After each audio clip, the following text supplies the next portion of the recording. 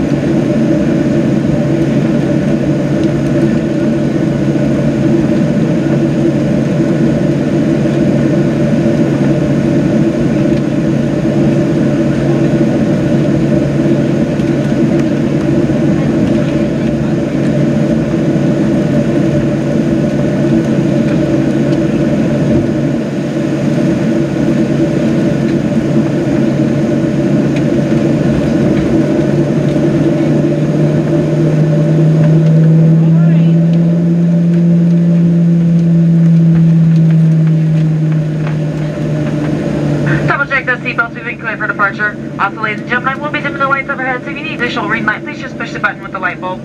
The light bulb.